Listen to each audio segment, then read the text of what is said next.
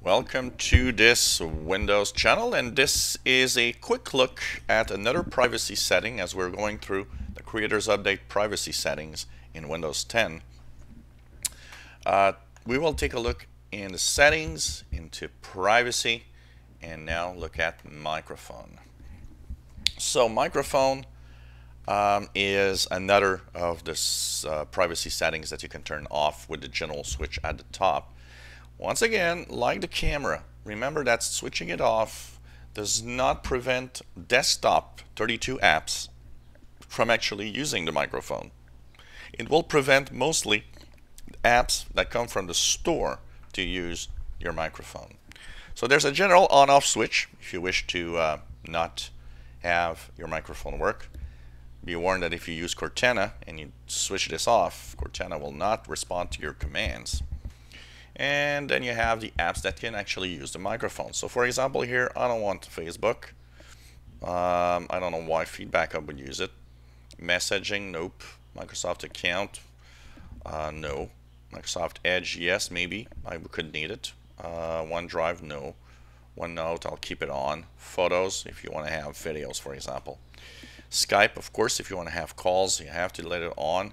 So, you know, you use the little switches and go app by app if you wish to have uh, the, the microphone on but just choose the different apps.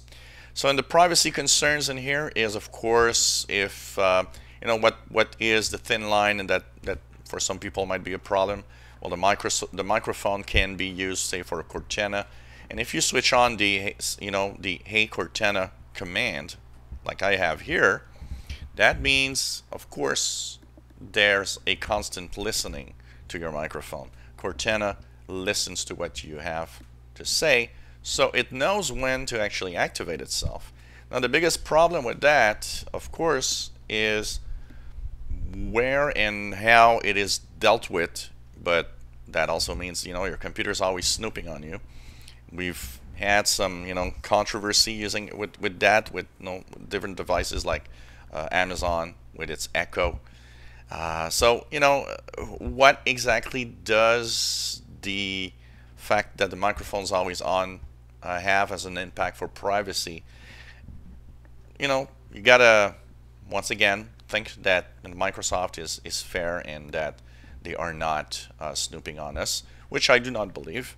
But, of course, depending on, you know, your own um, your own worries, if you want, in the usage of the technology um, you know, there, there might be a concern with that. And of course, general switch can be turned off and, you know, uh, you, you will stop the snooping.